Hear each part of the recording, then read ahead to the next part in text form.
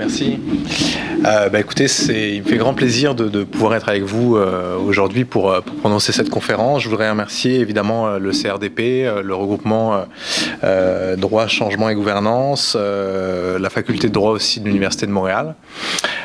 Pour vous expliquer euh, un petit peu la, manière dont ça s'est effectué, Laurence m'a demandé euh, de, venir présenter un petit peu une conférence sur ce qui est euh, mon, je dirais mon, cœur de spécialisation, à savoir la question du terrorisme et de la radicalisation violente.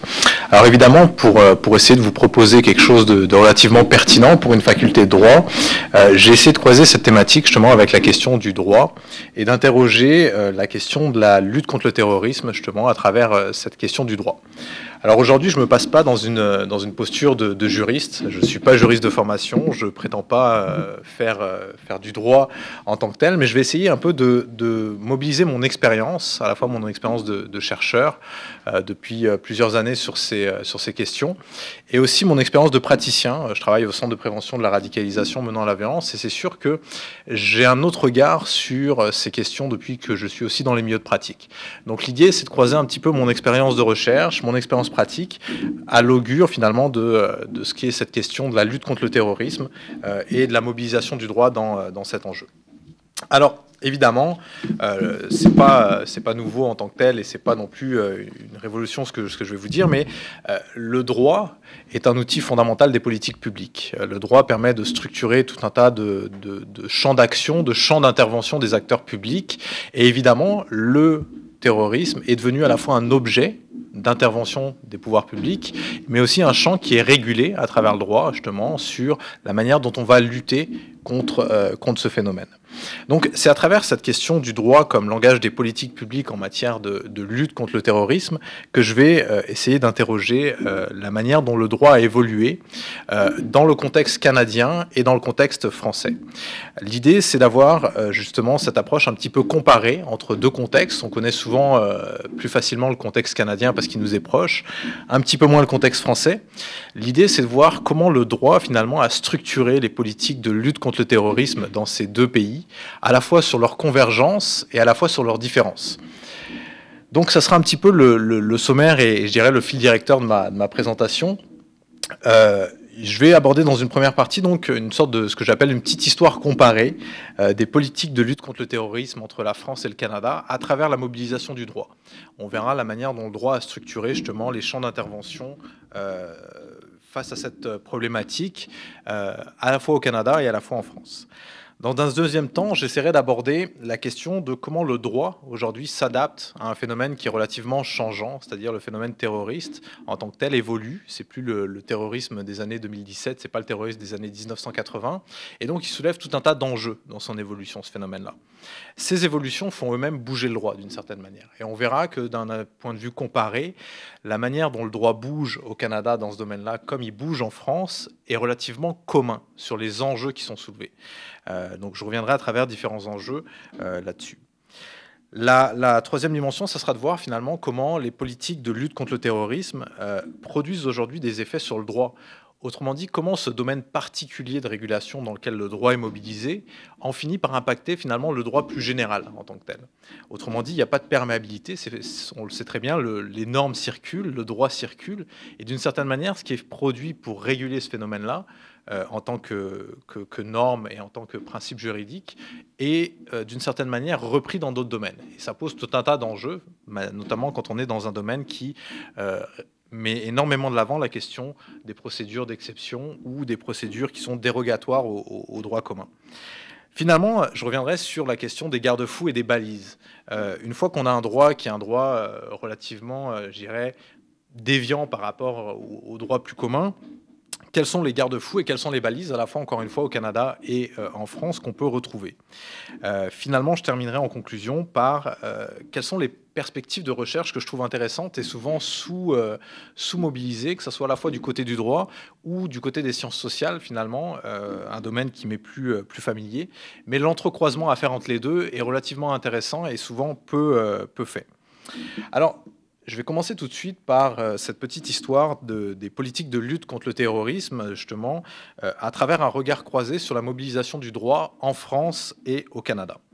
Alors, quand on se place dans le, dans le contexte français, et vous voyez ici un petit peu l'axe général, on peut remonter très loin, mais en gros, l'histoire de la lutte contre le terrorisme en France commence dans les années 60. Il faut se placer en 1963 dans un contexte de guerre d'Algérie, évidemment, euh, un contexte qui, euh, qui est relativement troublé par, euh, par les, violences politiques qui peuvent exister à la fois sur le territoire français, mais à la fois sur le territoire algérien, qui à l'époque évidemment français. Et donc l'État va décider à un moment donné, pour notamment lutter contre toute forme de subversion politique violente, de créer un organe qui s'appelle la Cour de sûreté de l'État. La Cour de sûreté de l'État est donc créée en 1963 au départ pour lutter contre euh, une organisation qui s'appelle l'OAS, l'organisation de l'armée secrète, euh, qui est une, organisation d'extrême droite euh, liée à des partisans de l'Algérie française.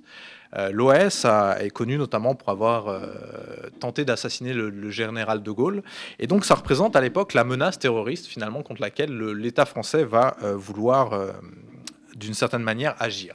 Donc en 1963, on a euh, la création euh, par une série de lois de cette Cour de sûreté de l'État.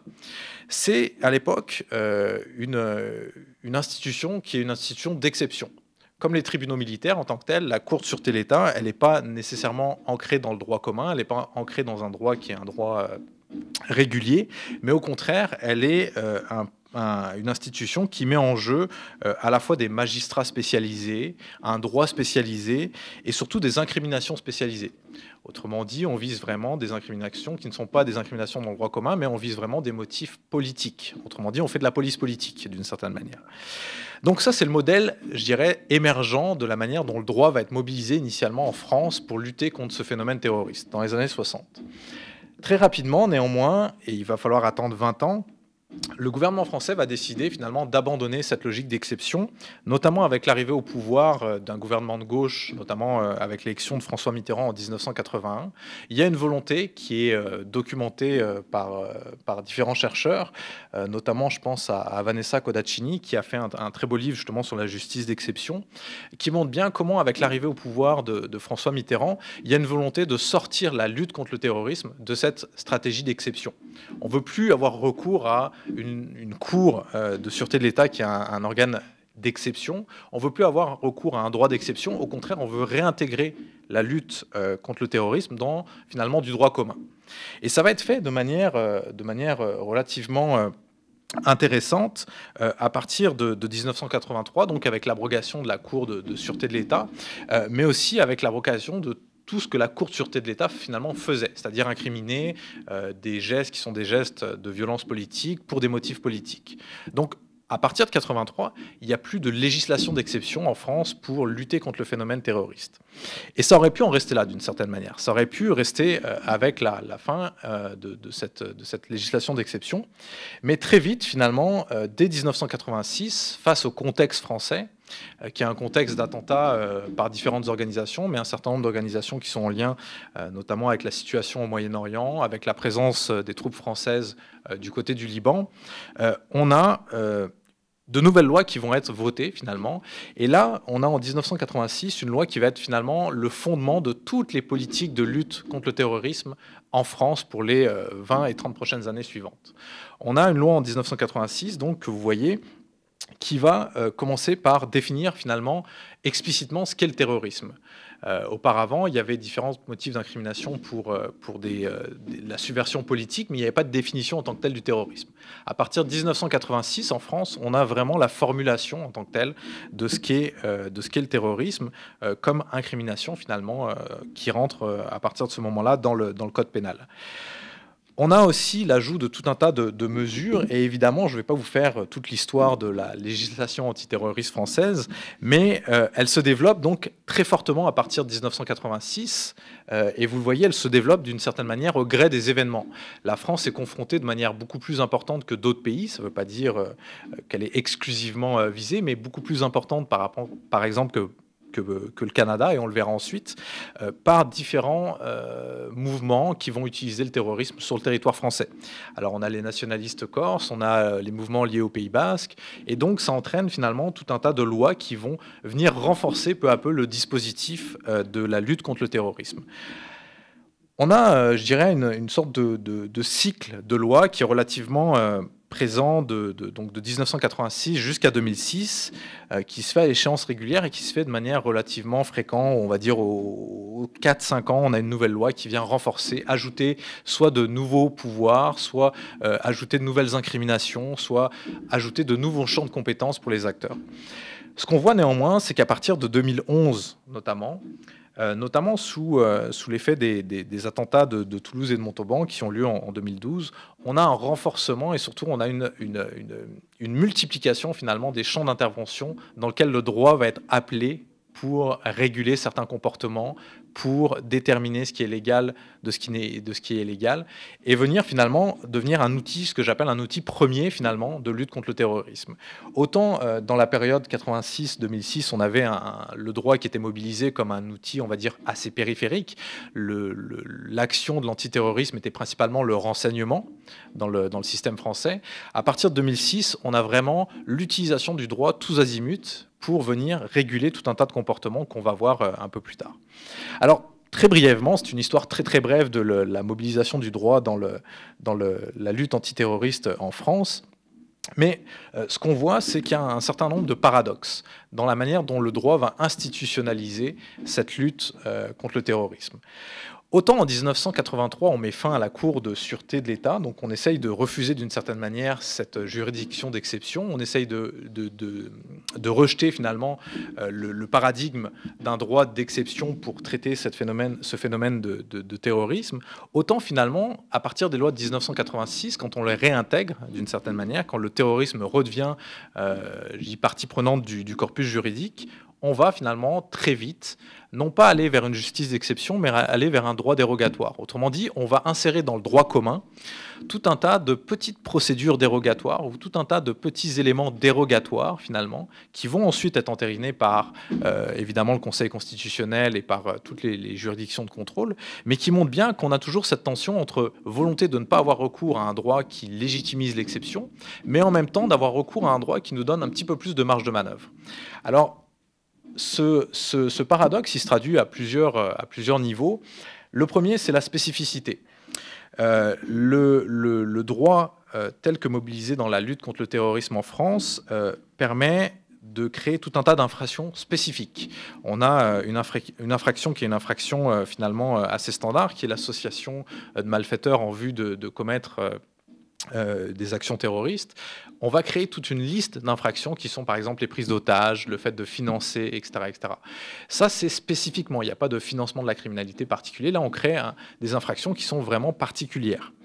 Il y a tout un tas aussi de procédures dérogatoires. Typiquement, euh, le, normalement, les faits criminels sont, en France euh, jugés par des cours d'assises qui sont composés avec des jurys. Dans le cas du terrorisme, par exemple, on va remplacer les jurys par des magistrats professionnels. Et c'est toujours le cas aujourd'hui. Euh, on va changer un certain nombre d'éléments, par exemple les procédures d'appel. Si, euh, par exemple, encore une fois, dans le, système français, vous avez besoin de faire appel à travers une cour d'assises, ça va aller vers un, autre jury.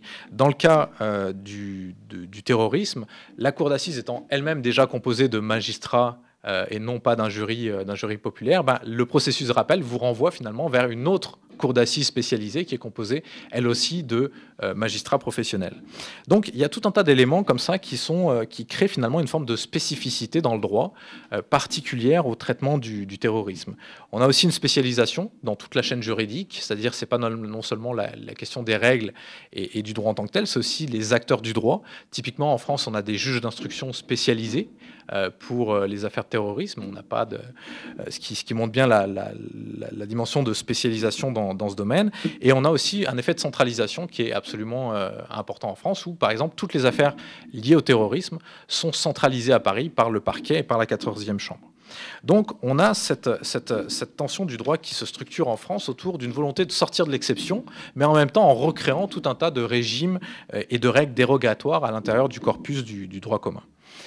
Si on se penche maintenant du côté, euh, du côté du, de l'histoire finalement canadienne, pour voir un petit peu la, manière dont, ça s'est structuré.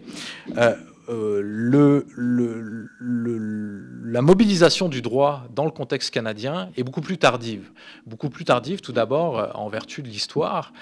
non pas que le Canada n'ait pas été soumis à, des, manifestations de, violence politique et de terrorisme, au contraire, mais elle est moins présente que sur le contexte français. Alors, je fais remonter cette histoire finalement euh, de la mobilisation du droit en matière de, lutte contre le terrorisme au Canada avec les épisodes des années 1970. Évidemment, la question euh, du FLQ, du Front de libération du Québec, et finalement la première mobilisation du droit en matière de lutte contre le terrorisme, c'est tout simplement euh, les lois sur les mesures de guerre qui sont annoncées en 1970 comme finalement moyen de lutter contre les différentes actions commises par le, FLQ.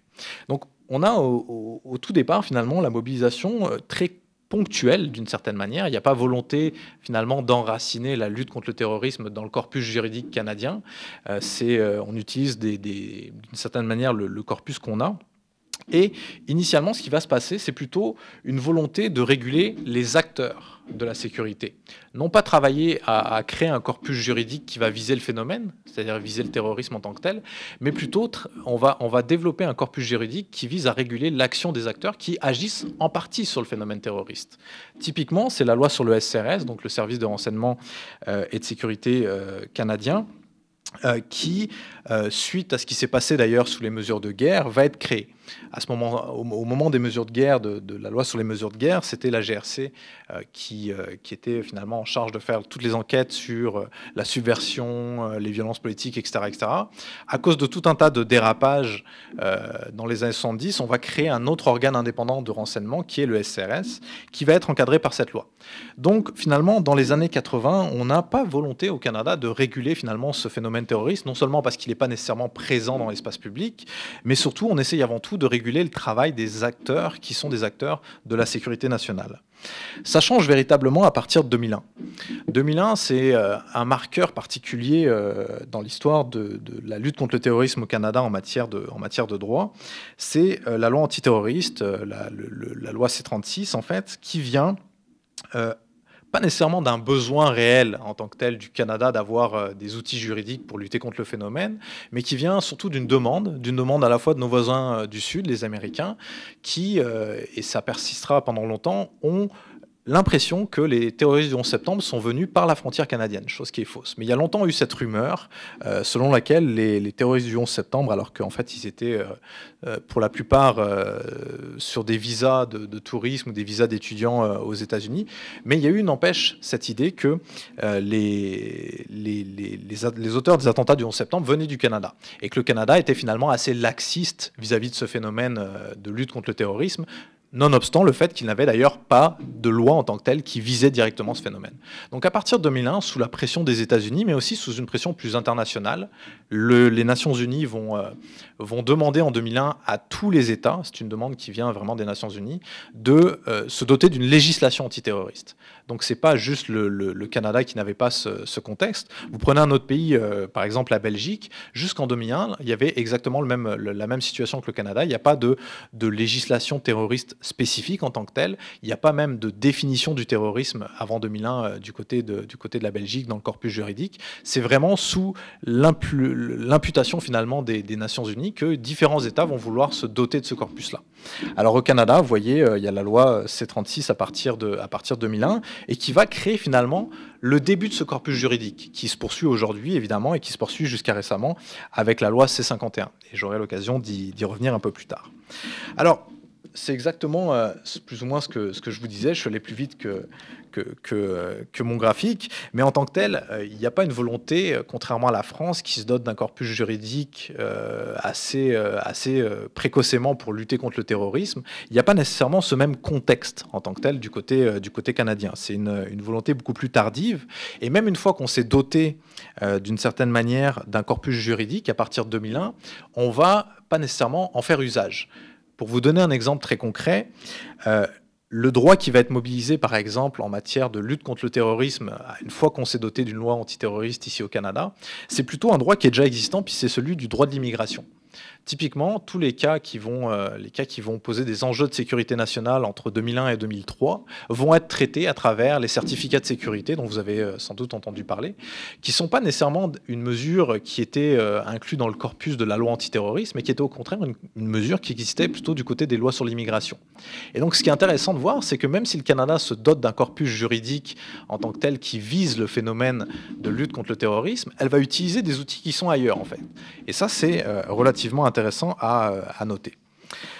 D'un point de vue euh, très général, ce qu'on euh, qu'on remarque, c'est qu'il y a quand même une convergence euh, à minima entre les deux situations, même si leur histoire est, relativement différente.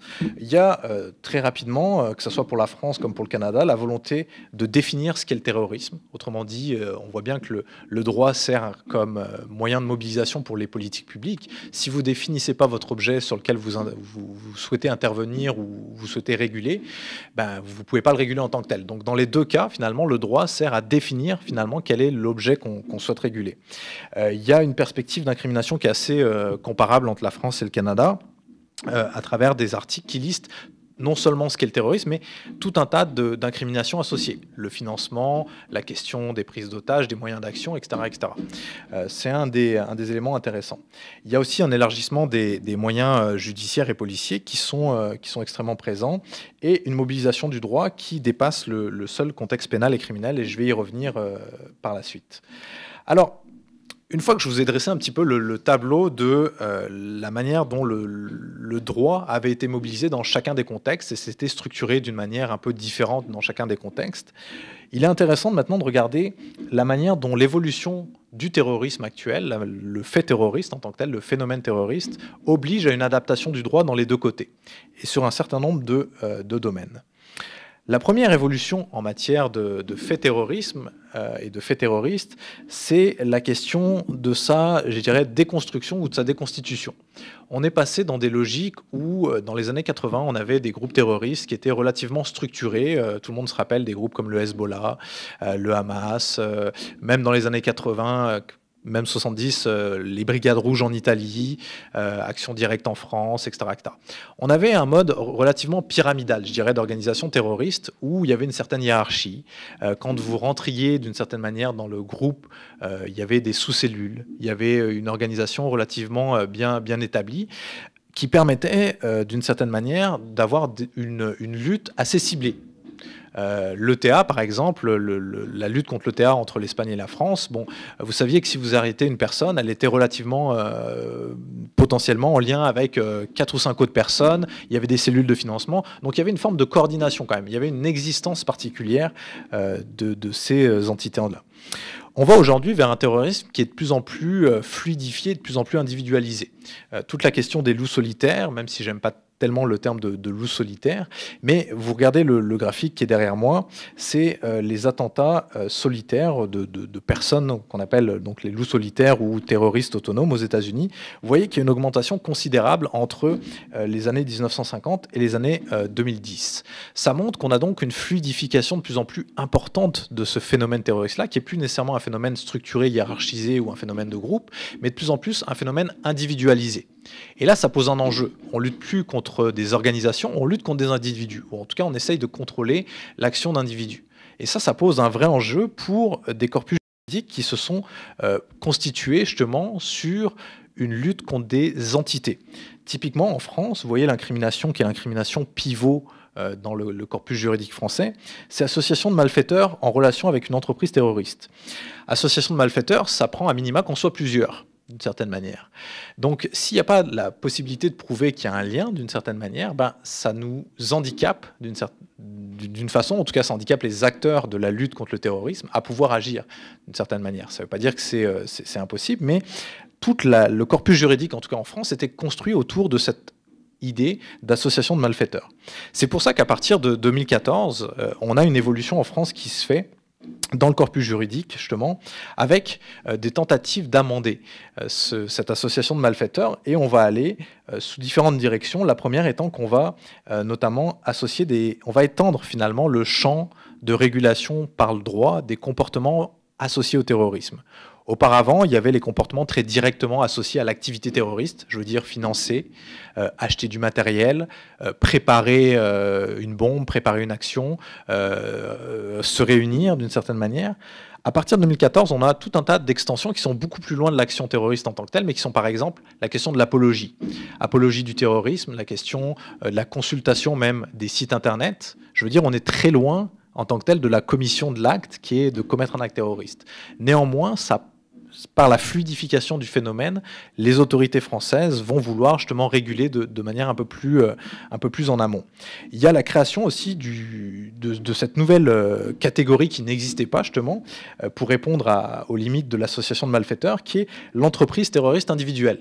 Ça a été une, création dans la loi de 2014 qui crée donc cette nouvelle catégorie, en gros, qui va mettre en jeu l'idée que si vous êtes tout seul, mais si vous êtes tout seul et que vous avez l'intention de commettre une action violente et que cette action violente est motivé par euh, la volonté de, de, semer la terreur ou de troubler l'ordre public en vue d'intimider, euh, euh, je ne sais plus exactement la, formulation, mais le gouvernement ou la, la, nation, je pense que c'est la nation, la formulation exacte, bah, vous êtes dans le cadre d'un délit d'entreprise terroriste individuelle.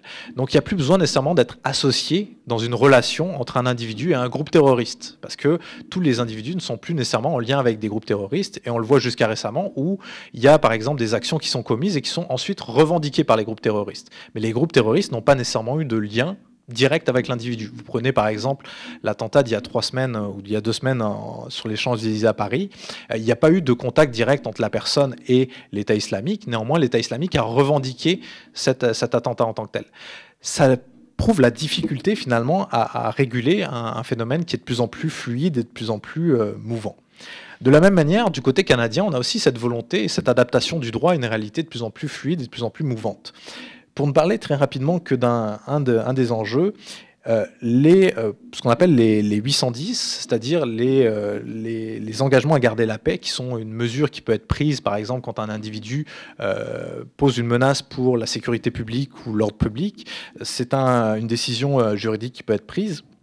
On en a eu plus de 18 utilisations. Euh, je pense que euh, c'est quelque chose qui existait déjà en tant que tel dans le, dans le, corpus juridique canadien, mais euh, au cours des dernières années, il y a eu une utilisation de plus en plus massive. Autrement dit, quand on n'est pas en mesure d'incriminer les gens parce qu'ils n'ont pas encore commis ils n'ont pas encore franchi finalement la limite du criminel, ben on va utiliser d'autres mesures juridiques.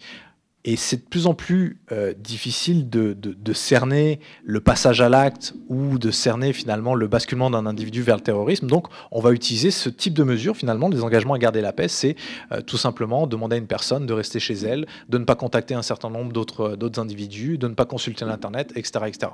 Donc c'est une utilisation extrêmement fréquente et on en a eu beaucoup d'utilisation, même ici, euh, y compris à, Montréal. Vous voyez, il y a quatre cas au Canada qui ont été, qui ont été finalement utilisés à travers les engagements à garder la paix. Deuxième enjeu euh, de, de, l'évolution finalement du phénomène terroriste, la question des combattants étrangers, le fait qu'on a euh, depuis 2013 euh, et notamment le conflit en Syrie, tout un tas d'individus français, belges, canadiens qui ont choisi d'aller rejoindre la Syrie et rejoindre les groupes terroristes sur place. Euh, du côté du Canada, pour vous donner un petit, ordre d'idée, on a à peu près une trentaine, euh, enfin le, ça c'est pour le Québec, une trentaine de personnes qui sont parties en Syrie depuis 2014. Du côté du Canada, à peu près 180. Du côté français, on parle à peu près de 1800 à 2000 personnes. Donc on n'est pas dans les mêmes, euh, dans les mêmes chiffres et dans le, même ordre d'idée. Néanmoins, ça représente un enjeu parce que ces gens-là, non seulement vont rejoindre des groupes terroristes, mais ils ont aussi la capacité de revenir sur le territoire. Et on l'a vu avec les attentats de novembre 2015 en France, c'est des gens qui étaient partis du côté de la Syrie, avaient rejoint ces groupes et sont ensuite revenus sur le territoire français pour commettre des actions terroristes. Donc il y a tout l'enjeu de réguler. Comment on, finalement on lutte contre ce phénomène qui était euh, un phénomène, je dirais, relativement marginal ou mineur euh, auparavant. Alors là encore une fois, il y a tout un tas d'innovations dans le corpus juridique qui sont vraiment qui essayent de prendre en considération cette, euh, cette dimension et en France, par exemple, on va essayer d'orienter tout un tas de mesures sur les questions de contrôle de sortie et d'entrée du territoire. Typiquement, en, la loi de novembre 2014, donc, qui était une loi assez extensive sur, sur les nouvelles mesures et sur tout un tas de, nouveaux éléments, la loi de, novembre 2014 va par exemple introduire l'interdiction de sortie du territoire sur une décision administrative. Autrement dit, à partir de 2014, le ministre de l'Intérieur français va pouvoir décider de prendre la décision d'interdire à un individu, en tout cas un ressortissant français, euh, de sortir du territoire autrement dit de récupérer son passeport et de le clouer sur le territoire français afin qu'il ne voyage pas. Alors évidemment, c'est une, une, mesure qui porte à controverse, notamment parce que c'est une décision administrative qui est prise par le, ministère de l'Intérieur. Et il y a toute la question de, par exemple, des, procédures d'appel, de qui, vers qui finalement on peut euh, emmener cette, cette décision-là tout en sachant qu'il y a une autre question qui est une question qui vient s'ajouter à ça, qui est que euh, la décision doit être motivée par un certain nombre de preuves, mais qui sont des preuves issues du renseignement et des services de renseignement, mais qui ne sont pas nécessairement euh, potentiellement dévoilables vis-à-vis de la personne qui a été assignée au territoire français. Donc ça pose tout un tas, euh, tout un tas d'enjeux. Il y a aussi la question euh, de la déchéance de la nationalité qui, à un moment donné, dans le débat français est venue et qui rejoint cette question en fait d'idée en disant si on finalement on arrive à déchoir les gens ont, qui ont, la, qui ont, qui ont la nationalité française et qui sont partis, d'une certaine manière, on va réguler leur retour. Ils ne seront pas capables de revenir sur le territoire français. Alors ça a été abandonné dans une euh, dans, tout un tas de, débats et de controverses. Finalement, il n'y a pas eu de, projet de loi qui a, été, euh, qui a été déposé. Néanmoins, il y a une déchéance de nationalité qui existe actuellement dans le droit français, euh, y compris pour le terrorisme. Il y a des gens qui peuvent être déchus de leur nationalité pour des faits de terrorisme. Ça a été déjà mis en pratique au cours des, des, 20 dernières années. La différence, là, c'est qu'on voulait l'étendre aux gens qui étaient nés en France. Autrement dit, les binationaux nés sur le territoire français, ce qui posait un, enjeu euh, supplémentaire. Du côté du Canada, cette régulation finalement des départs entre euh, l'étranger euh, et, le territoire canadien, ben, elle est aussi présente et elle est aussi un enjeu de régulation par le, par le droit. Petite anecdote, on pense que souvent il n'y a rien qui existe dans le droit canadien, mais il y a une loi qui date de 1937 qui s'appelle la loi sur l'enrôlement à l'étranger, qui interdit normalement tout Canadien de prendre part à une force armée externe euh, au Canada, c'est-à-dire en dehors des forces canadiennes, euh, et de combattre, euh, de combattre finalement un allié du Canada. Alors, on se dit que sous, ce motif, finalement, sous cette loi, on pourrait d'une certaine manière empêcher les gens qui sont partis du côté de la Syrie, parce que voilà, ils combattent l'État islamique combat d'une certaine manière l'Irak ou la Syrie, et en étendant un petit peu la définition, on peut dire que l'Irak et la Syrie, en tout cas pour l'Irak, peut-être moins la Syrie, mais l'Irak peut être considéré comme un allié du Canada. Bon, fait est que le, gouvernement canadien n'a pas voulu euh, finalement utiliser cette loi qui est un peu euh, un peu vieillissante et a choisi d'avoir recours à tout un tas d'autres euh, mesures juridiques qui ont finalement qui ont été rajoutées dans le corpus. très typiquement, on a l'article 83-181 qui est un article qui va criminaliser à partir de 2014 le fait de quitter le Canada pour participer à des activités terroristes. C'est-à-dire, vous voyez, on, on, vise pas directement le fait de, de commettre des actions terroristes, on vise juste le fait de partir à l'extérieur pour rejoindre un groupe qui est lui-même catégorisé comme terroriste. Catégorisé comme terroriste, là, c'est la liste des groupes qui est définie par sécurité publique euh, euh, au, niveau fédéral, qui définit tout un tas de, groupes euh, qualifiés comme, comme terroristes. On a ici aussi au Canada l'utilisation de mesures, administratives. Autrement dit, on va, on va essayer d'étendre les, les, manières de, de pouvoir empêcher le départ de ces gens-là à travers des mesures administratives qui sont un peu comme dans le modèle français, qui passent par le droit administratif et non le droit judiciaire. Donc on a par exemple les mesures de révocation du passeport, qui sont euh, l'équivalent de l'interdiction de sortie du territoire dans le, dans le, contexte français, qui sont aussi, euh, je dirais, à la, à la, au bon vouloir du ministre de la Sécurité publique au Canada. Il y a tout un tas de mesures, par contre, de contrôle qui sont un peu plus importantes qu'en France, mais on, met l'accent vraiment sur des mesures qui sont des mesures administratives et qui ne sont pas tellement du domaine euh, judiciaire en tant que tel. Même chose sur un autre, un autre outil qui est souvent utilisé, c'est la question euh, de la, passage, de la, no-fly list, comme on le dit euh, du côté américain, qui est une liste de noms, par exemple, qui interdit à des personnes qui sont sur cette liste de prendre l'avion et de se déplacer à l'étranger. C'est un autre moyen, finalement, de pouvoir pouvoir clouer les gens sur le territoire et de les empêcher de voyager à destination, à destination extérieure. Je vais très vite sur le, sur le dernier élément, mais évidemment, l'évolution du, phénomène terroriste passe en grande partie par la question de l'Internet. L'Internet est devenu à la fois un lieu dans lequel circulent les, les discours extrémistes, euh, mais aussi un lieu à travers lequel les individus vont entrer en contact les uns avec les autres. Et donc c'est évident que face à cette évolution, que ce soit au Canada comme en France, on a une volonté, encore une fois, de mobiliser le droit pour venir intervenir sur différents éléments et différents euh, champs d'action. Typiquement en France, euh, encore une fois, il y a cette volonté d'intervenir qui se fait à différents niveaux, mais en 2014, on va euh, transférer dans le code pénal l'incrimination d'apologie du terrorisme. C'est une incrimination qui existait déjà en France, mais qui, date d'ailleurs de 1881 à la base. Donc vous voyez que c'est pas récent l'apologie du terrorisme. Mais en 1881, quand on l'a inscrit dans, le, corpus juridique français, on l'avait inscrit sous les lois de la presse. Autrement dit, on, était dans un domaine qui était un domaine qui dépendait pas nécessairement du code pénal. À partir de 2014, on reprend cette même incrimination et on le met dans le code pénal, ce qui euh, transforme considérablement à la fois la portée, à la fois la manière dont on va euh, finalement euh, judiciariser les gens qui se rendent coupables de l'apologie du terrorisme et aussi les sanctions qui sont amenées avec, avec cette dimension. Petite anecdote au passage, cette incrimination qui est créée en 2014 fait une différence entre le fait que vous faites l'apologie du terrorisme dans le monde réel et que vous faites l'apologie du terrorisme sur Internet. Si vous le faites dans le monde réel, vous êtes passible de 5 ans de prison. Si vous le faites sur Internet, vous êtes passible de 7 ans de prison.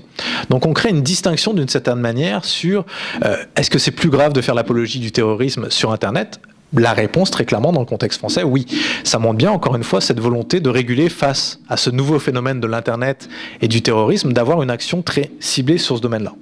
On renforce évidemment ce, domaine-là euh, par la loi de 2016 qui va aller encore plus loin. C'est pas seulement l'apologie du terrorisme, c'est la consultation euh, de sites considérés comme étant des sites euh, qualifié de terroriste ou extrémiste. Alors là, on rentre dans le grand flou juridique parce que qu'est-ce qu'un site terroriste ou un site extrémiste? Euh, Il y a une grosse marge de manœuvre en termes d'interprétation et en termes de, de qualification. C'est d'ailleurs euh, une infraction qui est introduite dans la loi de, de, de 2016. Vous voyez, euh, on a des cas concrets qui ont eu lieu. Euh, du côté de Chin, par exemple, condamné pour consultation répétée de sites faisant l'apologie du terrorisme. On a une personne qui est condamnée. Néanmoins, parce qu'heureusement, on a des mesures de contrôle et on a euh, tout un tas de, de mécanismes pour venir recadrer ce droit qui est de plus en plus finalement général et de plus en plus en amont, bah, le Conseil constitutionnel en France finalement a décidé d'une certaine manière de censurer une partie de la loi, la trouvant beaucoup trop euh, beaucoup trop euh, flou dans euh, les conditions qu'elle mettait. et donc le Conseil constitutionnel n'a pas invalider l'entièreté de la loi, mais en tout cas invalider un certain nombre d'éléments. Euh, mais c'est intéressant de voir quand même que voilà, il y a cette volonté d'aller de, plus en plus loin dans la régulation. Même chose du côté canadien. Euh, C51 introduit finalement une nouvelle, euh, une nouvelle incrimination euh, criminelle qui est l'équivalent de l'apologie du terrorisme qu'on trouve dans le droit français. C'est une incrimination qui est reprise du droit britannique en fait, et qui est amenée dans le, dans le droit canadien et qui finalement à l'article 83 221 qui montre finalement que est coupable d'un acte criminel euh, passible d'emprisonnement maximal de 5 ans, quiconque, sciemment, par la communication de déclaration, préconise ou fomente la perpétration d'infractions de terrorisme en général. Et là, encore une fois, on a une, problématique sur le terrorisme en général. Euh, c'est extrêmement flou et extrêmement, euh, extrêmement aléatoire dans la manière dont on peut interpréter ça. Donc, vous voyez, encore une fois, la régulation, cette, nouvelle incrimination dans le droit et dans le corpus juridique canadien, elle répond, encore une fois, à une évolution du phénomène terroriste. Il n'y a pas juste une conspiration derrière des, du gouvernement à vouloir réguler pour réguler. Il y a des enjeux en tant que tels d'évolution du phénomène terroriste qui demandent euh, au corpus juridique de s'adapter. Et on voit que, en comparant les deux situations France, France-Canada, d'une certaine manière, on trouve, euh, on essaye en tout cas de trouver la recette un petit peu à partir du contexte et, euh, et, de l'histoire, je dirais, institutionnelle propre aux deux pays. Alors, tout un tas d'enjeux aujourd'hui qui émergent. La question des mineurs, on a de plus en plus de mineurs qui sont impliqués dans des affaires de terrorisme. Ça pose tout un tas d'autres enjeux juridiques. La question des retours de Syrie. On a des gens qui sont aujourd'hui, qui sont partis en Syrie, qui vont revenir. De quelle manière sont-ils jugés? Selon quelle, selon quelle mesure de contrôle, par exemple, on peut, on peut intervenir sur eux? Des questions très pratiques de droit, par exemple, quand vous avez des enfants qui sont nés en Syrie, comment on fait pour les réintégrer concrètement ici au Canada quand il n'y a pas de certificat de naissance, il n'y a pas de trace de citoyenneté en tant que telle? Donc il y a tout un tas d'enjeux sur, sur ces différents aspects qui sont encore aujourd'hui pas, euh, je dirais pas pris en charge dans le corpus juridique. Donc il y a, véritablement un flou. Et je vous dirais que ces éléments que j'identifie sont pour moi les éléments qui vont sûrement être les pistes de développement du corpus juridique à la fois en France et, au Canada euh, dans les prochaines, dans les prochaines, euh, dans les prochaines années et les prochains mois. Alors une fois que je vous ai dit un petit peu les évolutions en matière de, de, de, phénomènes terroristes et comment le droit finalement d'une certaine manière essayer de courir après, essayer d'intervenir sur ces différentes dimensions, on peut quand même euh, faire maintenant une sorte de constat ou une sorte d'évaluation de qu'est-ce que ça génère, toute cette transformation du droit et ces, euh, nouvelles évolutions. D'un point de vue très, euh, global, ce qu'on s'aperçoit, c'est que en France comme au Canada, on a une mobilisation du droit qui va de plus en plus dans une logique préventive.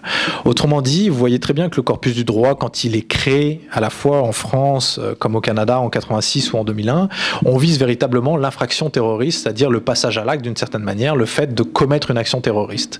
Au fur et à mesure qu'on essaye de, euh, qu'on avance avec l'évolution et la transformation du phénomène terroriste, on vise non pas juste le passage à l'acte, mais on vise le processus qu'il y a avant, ce qu'on appelle le processus de radicalisation.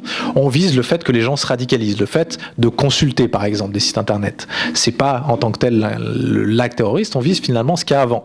Donc on est dans une logique de mobilisation du droit qui va essayer de plus en plus de cerner non pas ce qu'on appelle l'espace criminel, mais l'espace précriminel. Encore une fois, quand vous consultez des sites internet euh, qui peuvent être qualifiés de terroristes, vous n'avez pas commis d'action terroriste en tant que tel. Vous êtes encore relativement loin. Néanmoins, le droit commence de plus en plus à infuser cette logique-là de, logique préventive.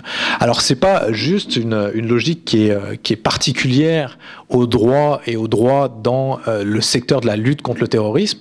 C'est un, un, un, tournant qui est relativement plus, euh, plus, plus global et qui est observé notamment par plusieurs auteurs. Euh, dont Carvalho, qui parle de tournant préventif dans le droit criminel, qui montre que le corpus finalement juridique en matière de droit criminel va de plus en plus vers une logique de mobilisation du droit, non pas pour punir des infractions une fois qu'elles ont été commises, mais punir finalement, ou en tout cas pas punir, mais en tout cas réguler des comportements en amont de l'infraction. Et ça, c'est quelque chose qu'on retrouve de manière extrêmement explicite dans, euh, dans, dans, le domaine du terrorisme en tant que tel et dans le domaine de la lutte contre le terrorisme, comme je vous l'ai montré euh, auparavant. C'est la multiplication des infractions préventives, encore une fois, le fait de participer, de consulter, euh, le fait de soutenir, qui sont relativement très loin en amont vis-à-vis -vis de l'acte terroriste. C'est aussi la, mesure, la mobilisation des mesures administratives. je vous l'ai dit, les interdictions de sortie du territoire, le fait de se retrouver sur des, des listes de passagers interdits, le fait aussi d'avoir des assignations à résidence, comme on a eu en France, qui sont des mesures administratives. Il y a toute cette dimension qui viennent réguler de manière relativement en amont les comportements euh, et les logiques, euh, les logiques en tant que telles. Je ne reviendrai pas sur, euh, sur la question de l'état d'urgence en France, qui est une sorte de parenthèse de réintroduction de la justice d'exception et de la régulation d'exception dans le, dans le contexte français. On pourra en rediscuter, si vous voulez, pendant la période de questions. Mais il y a tout un tas d'éléments qui encore une fois, pousse dans cette logique de mobilisation du droit, non plus dans, une, dans un cadre qui est un cadre euh, finalement pénal, mais vraiment dans un cadre préventif qui, euh, qui, qui, remonte vers, vers l'amont. Alors, une fois qu'on a montré un petit peu cette tendance générale, vous me direz, il y a une extension du droit, il y a une extension du droit en partie de lutte contre le terrorisme du côté du préventif. Euh, est-ce qu'on a raison de s'inquiéter ou est-ce qu'heureusement il y a des garde-fous et un certain nombre de balises?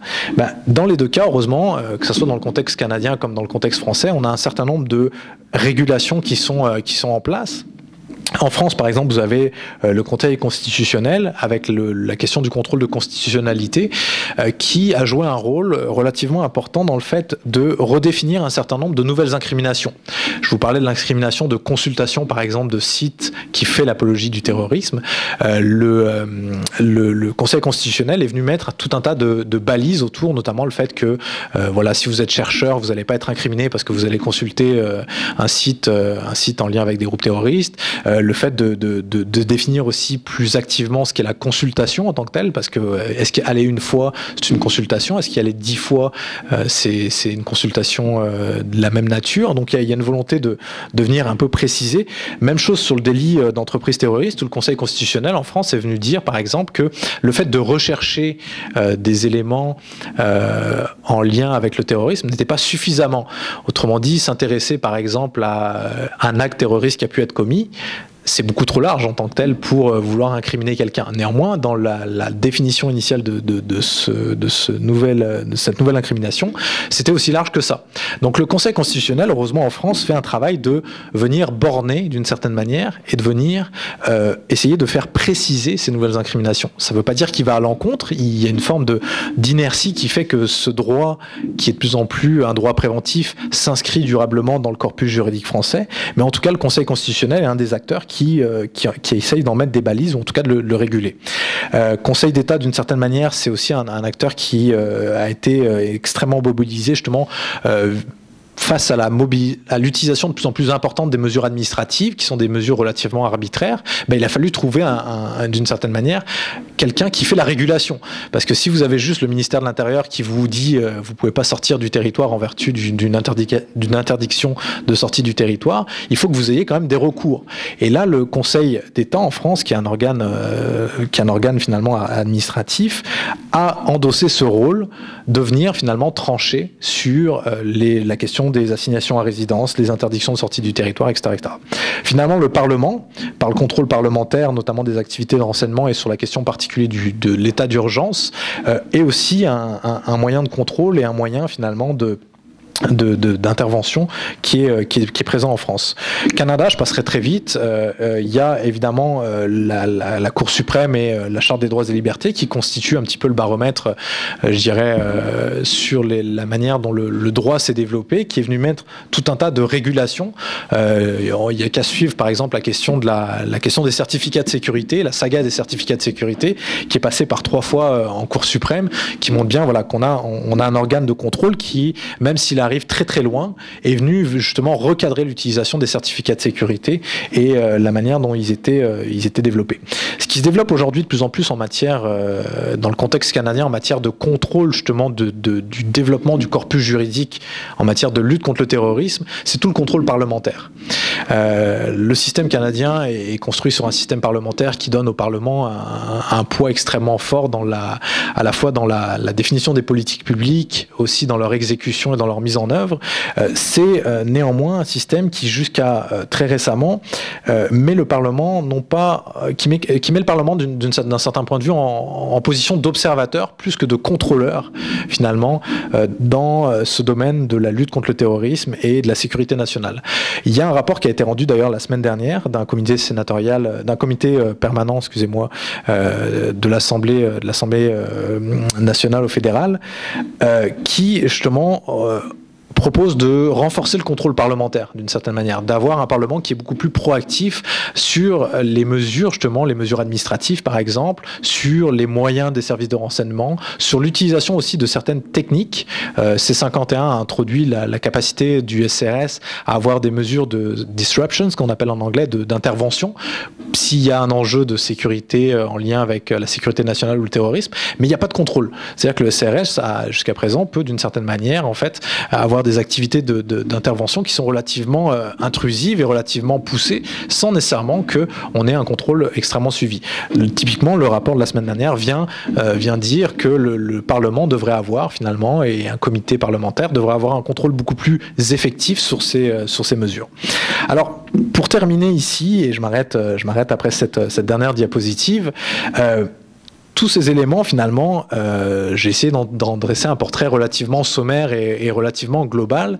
Euh, euh, montre qu'il y a quand même tout un tas d'évolutions actuelles, euh, à la fois dans le corpus juridique, dans la manière dont il se déploie, mais qui sont relativement peu observées. Il faut, euh, il faut regarder le nombre de personnes, à la fois dans les départements de droit ou dans les départements de sciences sociales, qui travaillent justement sur cet enjeu du droit et de la lutte contre le terrorisme, qui est relativement peu nombreux. On a quelques spécialistes ici au Canada et au Québec, et, tant mieux, mais il y a tout un tas de, champs de recherche finalement qui sont à développer. Le premier champ de recherche que, que je vois et que je trouve extrêmement intéressant, c'est tout d'abord euh, parler d'effectivité du droit.